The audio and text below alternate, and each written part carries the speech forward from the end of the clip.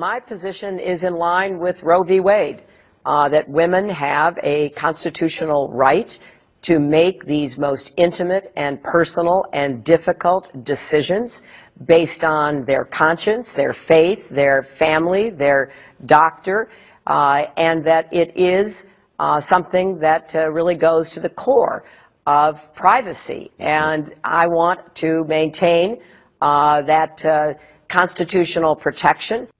All right, ladies and gentlemen, uh, I, I, hate to do this to you. This will be two gimme fives in a row with Hillary talking abortion, but this is so egregious. This, this has to be out there. Uh, welcome to Gimme Five. Uh, you know, this, this right of choice, and it should be up to the woman, and a choice and discretion to kill your unborn baby. Okay? She doesn't want any interference from the government from a woman's right to kill her unborn baby. Here's more. Under Roe v. Wade, as you know, uh, there uh, is room for uh, reasonable uh, kinds of restrictions after a certain point in time. Uh, I think uh, the life, the, the health of the mother are clear.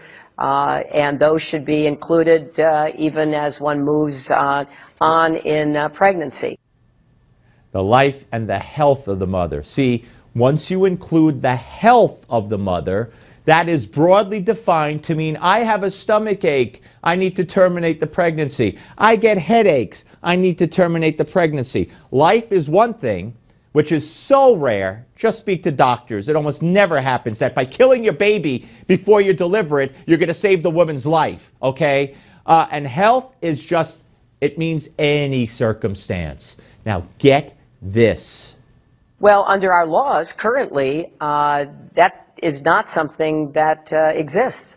Uh, the, uh, the, the unborn uh, person uh, doesn't have constitutional rights. Now, that doesn't mean that we don't do everything we possibly can in the vast majority of uh, instances to, mm-hmm. you know, help a mother who is carrying a child uh, and wants to make sure that child will be healthy, to have appropriate medical support.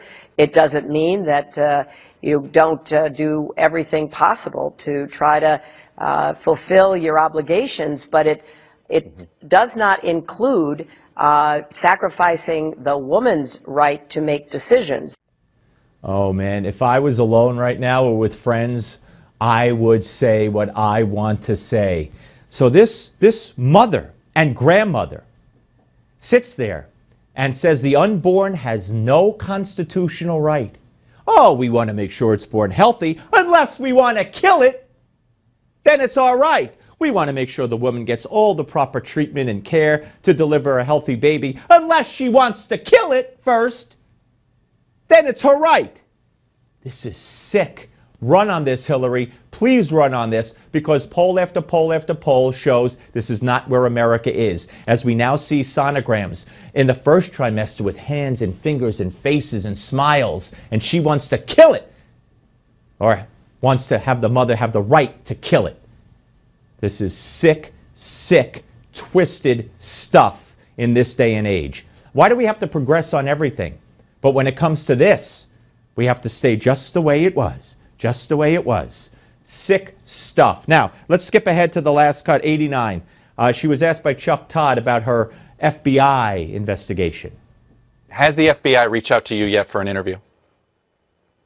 No, no, they haven't. But, uh, you know, back in August, um, we made clear that I'm happy to answer any questions that anybody might have, and uh, I stand by that. Are you concerned that this isn't going to wrap up before the convention?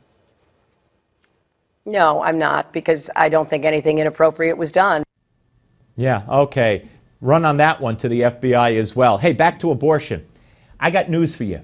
If you don't want to risk having a baby, then don't have sex. You could take birth control, and sometimes it fails because it's not 100%.